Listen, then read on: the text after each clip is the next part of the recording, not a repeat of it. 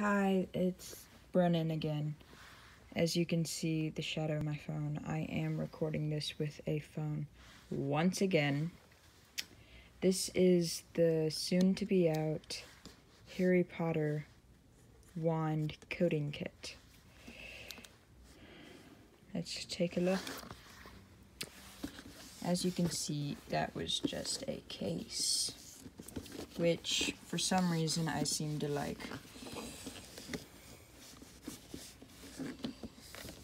This is hard to get off with one hand. Got it. Use my elbow. And look at that. It's pretty cool looking if you ask me.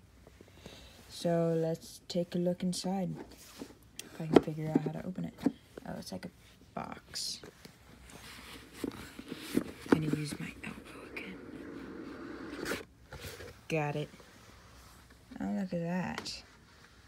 How to make a coding wand.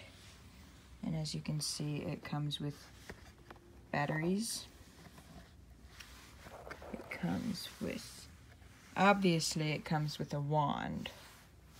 And as you can see, you have to build the wand. I mean, that was pretty straightforward from the beginning. But yeah, gotta build the wand. Now let's, I'm gonna take a look through here.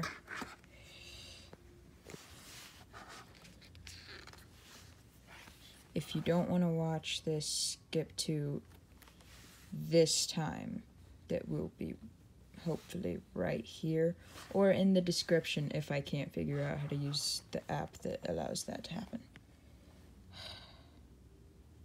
It says, This is your coding wand. It's made of plastic, rubber, copper, and electronics. I'm pretty sure they're made of wood, like this one right here. Don't mind the knife. I don't use muggle weapons. Or the pencil. I don't use muggle writing materials at all, obviously. I'm only doing this to make fun of the muggle version of wands. I think they can us. Double A or triple A batteries. Pathetic.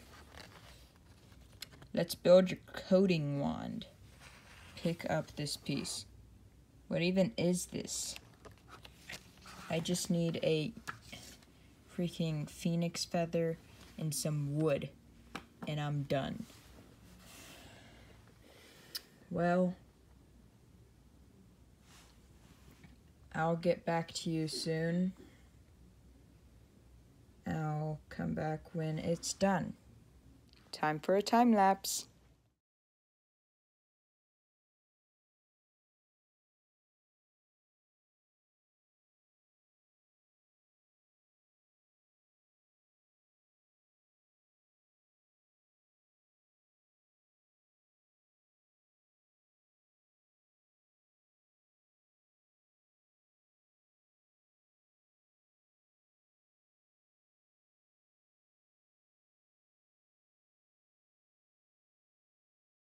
And that is pretty much how you put together your wand.